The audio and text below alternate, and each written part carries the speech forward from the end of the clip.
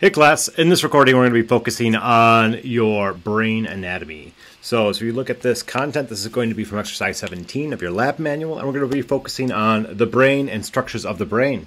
So let's dive into it. The brain is broken up into four big or main regions. We have the cerebrum, we have the brain stem, the diencephalon, and the cerebellum. Those four main regions are then going to have subregions, or excuse me, will have substructures associated with them.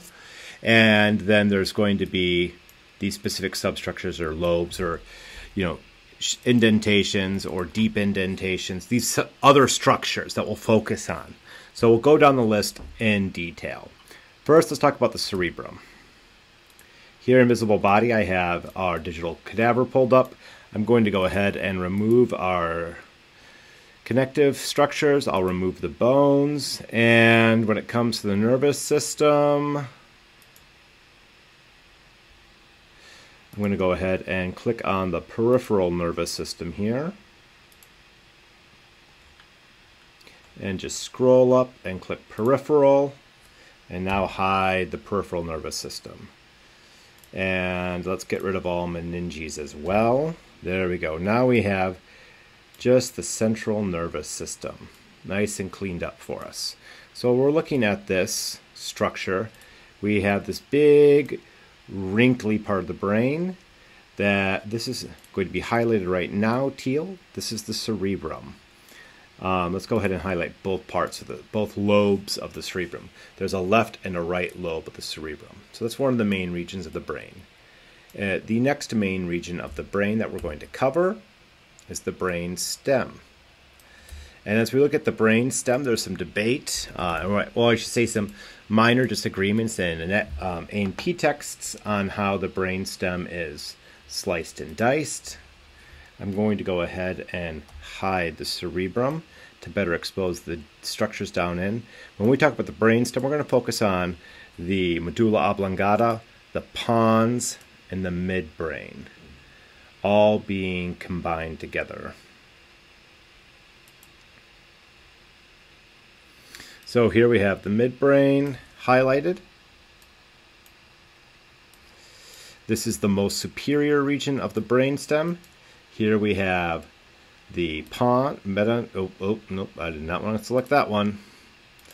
Here we have the pons selected. Let's do multi-select here. So the pons is another region of the brainstem. And the final region of the brainstem is the medulla oblongata, which is down here, the most inferior portion of the brainstem. So if I go back up here to the top and and reselect these parts of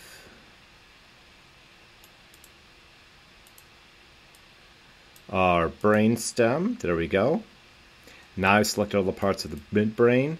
So here we can see the entire brain stems highlighted, at least how the brain stem is defined within your lab manual. Another main region is the diencephalon. And the diencephalon has some substructures associated with it. The uh, or subregions We have the hypothalamus, the thalamus, and the thalamus associated with the that make up the diencephalon. So as we look at the hypothalamus and the thalamus, we have the hypothalamus right here. I can just go ahead and thankfully just select the entire diencephalon. And this, the way visible body here slices and dices the diencephalon, excludes the thalamus as well. So I'm going to add our thalamus. Let's go ahead and clean this up a bit. We'll get rid of the putamen.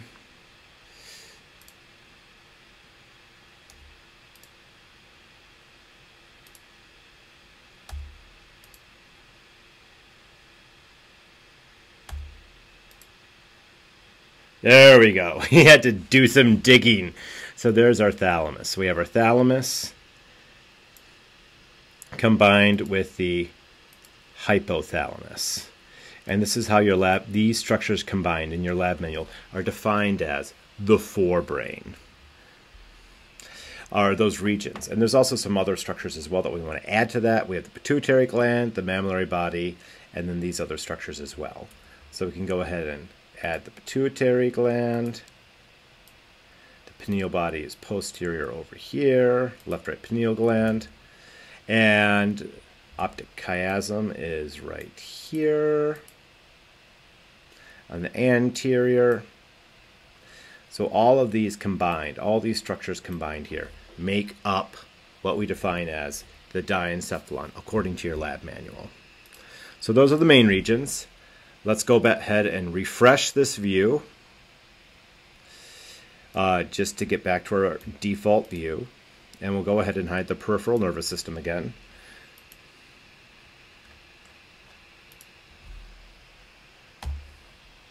And we'll also hide all of the meninges again as well.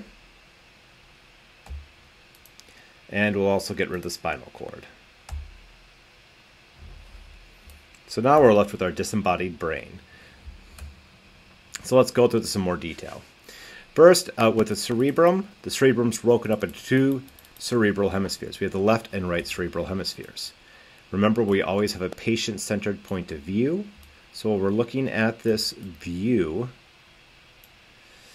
The left cerebral hemisphere is right here.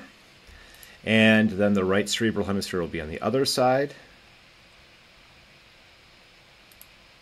Right over here. As we look at the fissures, gyri, gyrus, and sulcus, that are, excuse me, the fissure, gyrus, and sulcus that we have, uh, to differentiate these from each other, I want you to write in your notes that a fissure is a deep indentation, a sulcus is a shallow indentation, and a gyrus is a ridge. So in between the left and right cerebral hemispheres, we have this really deep ridge. I'll go ahead and highlight it here. I'll annotate it in green and pull that up. That really deep indentation is the longitudinal fissure.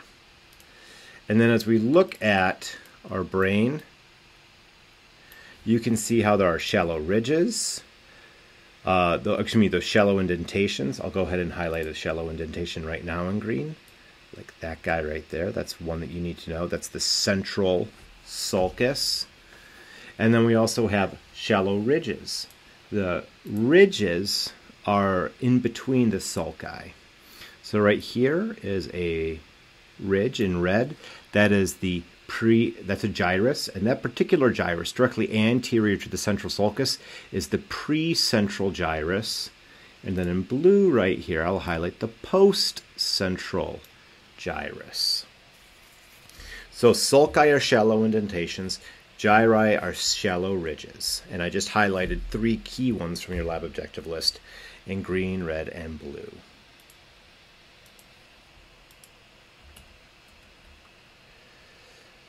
So I forgot two the sulci, or I still have two more sulci left to cover, the parietal occipital and the lateral sulcus. The lateral sulcus, I'll go ahead and highlight in red. It will is right here and will separate the temporal lobe from the parietal and frontal lobes. I'll cover the lobes in a second. Another key sulcus that we have is back here. This deep sulcus, I'm highlighting blue, right there that's going to accept, separate the parietal lobes from the occipital lobes. And as its name, and if we look at its name, it's beautifully named. The name is the parieto occipital sulcus. It's named for the lobes that it separates. Speaking of lobes, let's talk about the lobes of the cerebrum. These lobes of the cerebrum are named for the structures, excuse me, the bone of the cranium, which they are nearby. So if we look in our model here, the frontal lobe is going to be by the frontal bone. So here's our right frontal lobe. The temporal, excuse me, parietal lobe is by the parietal bone. The temporal lobe is by the temporal bone. And then the occipital lobe is going to be, well, you guessed it, where the occipital bone is located. We also have the corpus callosum. As we look at the corpus callosum, this is going to connect the left and right cerebral hemispheres. So if, hmm, come on, let me highlight. Apparently it's not letting me highlight just that term, corpus callosum. So in this model, I'll go ahead and just remove the left side of the brain, the left cerebral hemisphere, and I'll just dissect back here. I'm just going to go ahead and keep clicking my way through and work our way down in. We need to get rid of this lateral ventricle. And now we've gotten into the structure we were looking for, right down in here, the corpus callosum.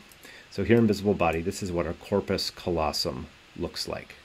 And again, it connects the left and right cerebral hemispheres. Move on, moving on, let's go to our next main region, the brainstem. We'll start um, with the most superior portion, the midbrain. Well, we're looking at the midbrain. I'll go ahead and get rid of the right cerebrum to clean things up for us. Here we can see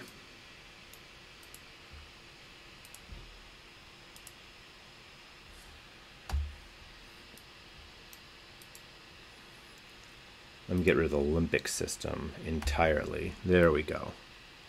This is nice and cleaned up now. So here we have the midbrain as a whole, and I'm going to the midbrain. It includes that cerebral crux with this structure as well. So this whole area right here, that's a subregion. That's the midbrain.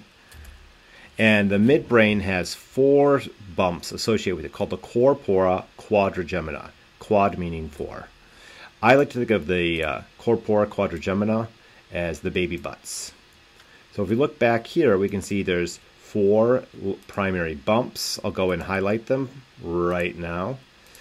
Uh, they're broken up into superior and inferior groupings. So we have the inferiors, then we have the superiors, and all four of those combined make the corpora quadrigemina. The next subregion of the brainstem we're going to focus on is the pons. The pons is the big bulge on the brainstem. To find the pons, I'll just change our view. Oh, let's get rid of multi-select. There we go. So here's the pons. And we're not asking you to know any specific structures for the pons, just recognize that this large bump is the pons.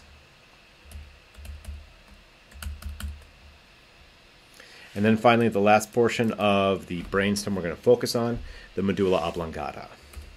So as we look at our medulla oblongata, this is the most inferior part of the brain. This is the part of the brain that is going to extend down through the foramen magnum uh, to connect to the spinal cord. So this foramen, medulla oblongata is the most inferior subregion of the brainstem. Our next main region we're going to cover in detail is the diencephalon. And I've already talked about the diencephalon as a whole. Let's talk about the subregions and substructures. So first we have the hypothalamus. Well, we're looking for the hypothalamus. It is going to be relatively easy to find. It is right here as a structure hanging down. And inferior and Hanging down from the hypothalamus, we have the pituitary gland. And our pituitary gland can be broken up into anterior and posterior regions. Uh, right now, I just want you to think of the whole thing as the pituitary gland. And we also have the optic chiasma. As we're looking at this structure, this is where our sense of vision comes to our eye. So the optic nerves, cranial nerve 2, will connect to the brain at this structure. Uh, we also need to cover the pineal gland and fornix. So while we're looking at the posterior here, that bump right there, directly superior to the corpora quadrigemina, that bump I just highlighted, that is our pineal gland. Now to find the fornix, I'm going to need to dissect back the thalamus and its associated nuclei. Let's go ahead and get those back there. And we can see this ridge right here. This ridge that's directly inferior to the corpus callosum is going to be the fornix.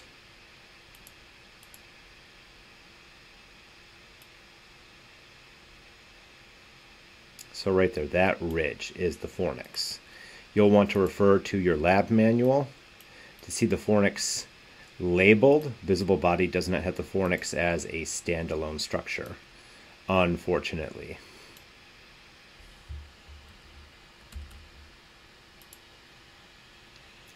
And I also need to cover the mammillary body.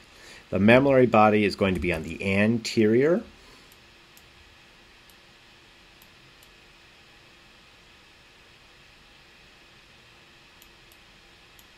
Let's go ahead and reset our brain view here. It's just got, I've just lost a lot of my context. So let's go ahead and remove the meninges. And we can remove our peripheral nervous system as well.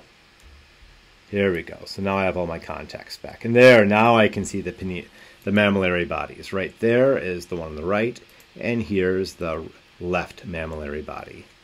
Uh, they're so named because early anatomists thought they resembled a pair of breasts. The mammillary bodies and with the static models that we have in lab are oftentimes mixed up with cranial nerves, just because they're all the cranial nerves and the mammillary bodies on those SOMSO teaching models we have are all colored white. So let's go down the list. Check. Covered those. I've covered the thalamus. I've covered those three structures. All that's left is the major region of the cerebellum, which I have not covered yet, and the arbor vitae, that structure within. So as I'm looking at our brain, down here, uh, towards the back of the brain, let's click on that again. Here we go, is our cerebellum. So we have the left cerebellum highlighted right now, and then it's obviously has the right cerebellum right next to it. When we look at the cerebellum, it's going to have tiny sulci and tiny gyri associated with it. And I can go ahead and dissect back half of the cerebellum and expose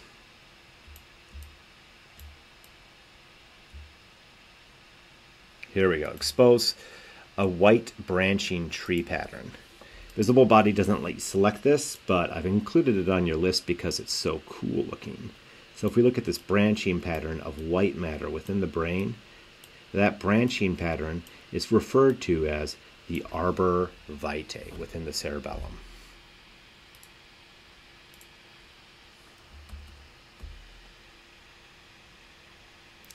I am going to skip the meninges of the brain, meninx plural. Um, those are relatively straightforward, and visible body also does not do a good job of highlighting them. And I'll move on to Roman numeral number three, the cerebral spinal fluid circulation. We'll focus on ventricles or hollow spaces in the brain, and then the PET tubes that fluid will flow through. So with here with invisible body, let's go ahead and get rid of the left cerebrum just to really expose and highlight those circulatory structures. So right here, this structure that I have highlighted, come on, there we go, is our left lateral ventricle. And it's so nice to see this with Invisible Body. It does such a good job of showing what it looks like compared to the static teaching models. Cerebral spinal fluid it will flow from the left ventricle Hmm. Uh, let me get rid of this guy right here as well. We'll get rid of the right cerebrum. And we'll get rid of the limbic system. We'll just clean it up a bit.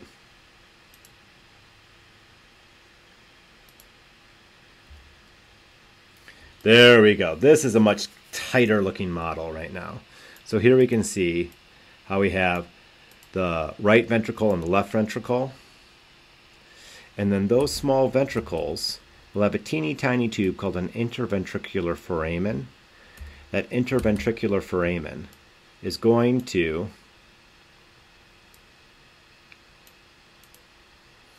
be a small tube that will carry fluid down into the third ventricle. So I have it highlighted right there.